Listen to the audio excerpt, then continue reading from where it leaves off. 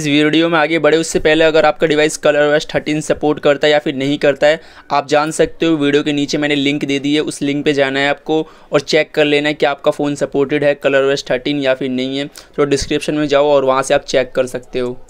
Guys after releasing ColorOS twelve सभी को wait है कलर वैस थर्टीन का। और कलर वेस्ट थर्टीन के साथ वेट है, इसके फीचर्स का कौन कौन से फीचर्स देखने को मिलने वाले हैं। तो गाइस चाइना में कुछ फीचर्स लीक हुए हैं कुछ मीडिया के थ्रू तो उस फीचर को मैं शेयर करने वाला हूँ और कौन से डिवाइसिस को ये अपडेट मिले, उसके बारे में भी डिस्कस करने वाले हैं। बाय द वे गाइज़ यहाँ पे जो फीचर्स है, ये लीक किया गया है चाइना की तरफ़ से तो ये फीचर्स मे भी इंडिया में देखने को मिल सकता है कलर वेस्ट थर्टीन के अंदर, और बहुत ज़्यादा इंटरेस्टिंग फीचर देखने को मिला है। बाय द वे कुछ लुक भी देखने को मिलेगा इंटरफेस देखने को मिलेगा, कैसा होने वाला है कलर वेस्ट थर्टीन तो वीडियो को देखते रहो शुरू से एंड तक। बाय द वे चैनल पर न्यू तो अभी सब्सक्राइब कर लेना और वीडियो को भी लाइक कर दो। So let's begin the video so so, video को स्टार्ट करते हैं। तो यहाँ पे आपको सबसे पहले देखने को मिल गई एक पोस्ट चाइना की तरफ़ से। यहाँ पे लिखा हुआ है Oppo Find N Oppo Find X five Pro और वन प्लस टेन प्रो को कलर वेस थर्टीन का सपोर्ट देखने को मिल रहा है अभी के टाइम। गाइज़ बीटा अपडेट से पहले भी एक अपडेट दिया जाता है, वो अपडेट अभी इन डिवाइसेस के अंदर रन कर रहा है। मतलब ये बीटा अपडेट पब्लिक के लिए नहीं है, ये सिर्फ़ कंपनी वाले यूज़ कर सकते हैं। तो इन डिवाइसेस के अंदर अभी सपोर्ट हो रहा है Oppo Find N Oppo Find X five Pro और ओप्पो टेन वो जो आपका वन प्लस टेन है, उसके अंदर भी सपोर्टेड है। एंड जैसे कि आपको पता होगा चाइना के अंदर कलर वेस अभी चल रहा है ओप्पो के डिवाइसेस के अंदर भी और उसके साथ ही साथ में वन प्लस के डिवाइसेस के साथ भी वर्क कर रहा है। तो सो so, ये कुछ इंटरफेस है कलर वेस थर्टीन का। आप देख लो एक फ़ोन मैनेजर है जहाँ पे आपको देखने को मिल रहा है कुछ इस तरीके का इंटरफेस उसके अलावा ये भी फ़ोन मैनेजर का स्क्रीनशॉट देखने को मिल रहा है। और आगे बढ़े तो ये है एक फ़ाइल मैनेजर जिसके अंदर आपको कुछ इस तरीके का इंटरफेस देखने को मिल रहा है। म्यूज़िक वीडियो सॉन्ग्स और इमेजेस का भी आपको इस तरीके का स्क्रीन देखने को मिल रहा है। काफ़ी सिंपल सा देखने को मिल रहा है और देखते हैं आगे क्या होगा कैसा अपडेट आएगा।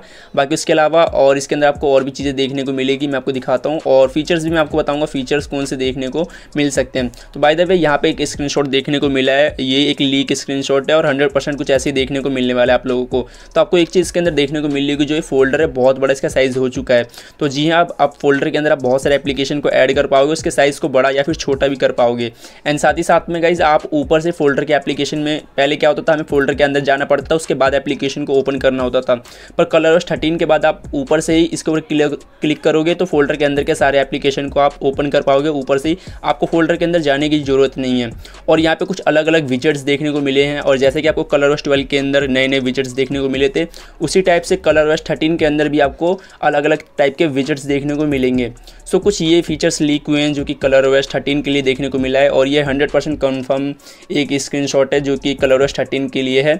और अभी जैसे कि मैंने आपको बता दिया बीटा स्टेज जुलाई से शुरू हो जाएगा चाइना पब्लिक यूज़र्स के लिए। उसके बाद अगस्त से ऑफिशियल वर्जन मिलना स्टार्ट हो जाएगा चाइना के अंदर। उसके बाद हमारे इंडिया के अंदर ये आपको देखने को मिलेगा ईयर के एंड तक देखने को मिल जाएगा।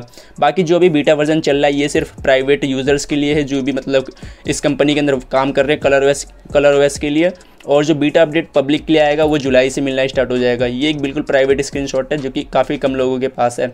तो ये जो फोल्डर वाला फीचर है, ये तो मुझे बहुत अच्छा लगा। उसके अलावा और भी चीज़ें देखने को मिल रही है। सो देखते हैं आगे क्या क्या देखने को मिलेगा, और आई होप इसके अंदर और भी फीचर देखने को मिले जो हमारे काम के हो। बाकी इंटरफेस मुझे बहुत अच्छा लगा। आप बताना आपको कैसे लगे सारी फीचर्स और अपडेट सो अपने मिलते हैं नेक्स्ट वीडियो के अंदर एंड चैनल को सब्सक्राइब करना भी बिल्कुल मत भूलना।